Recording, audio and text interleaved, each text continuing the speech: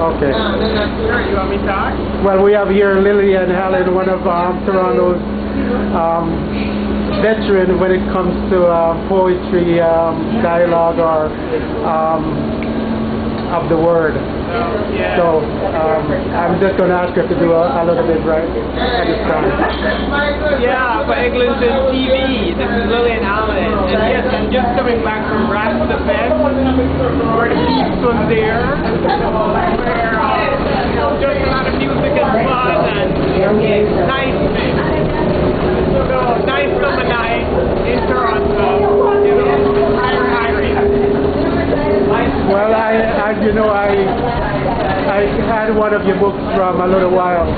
Um, you did something concerning um, Louise Bennett, one of Louise Bennett's stuff.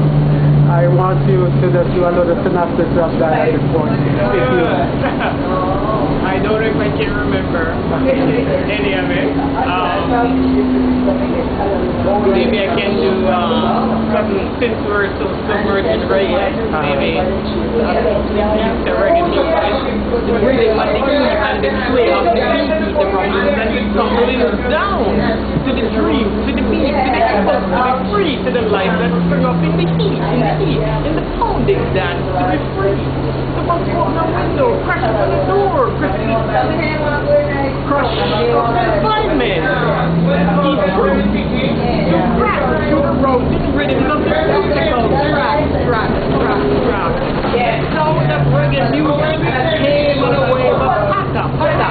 People rooted in eternal chatter, chatter.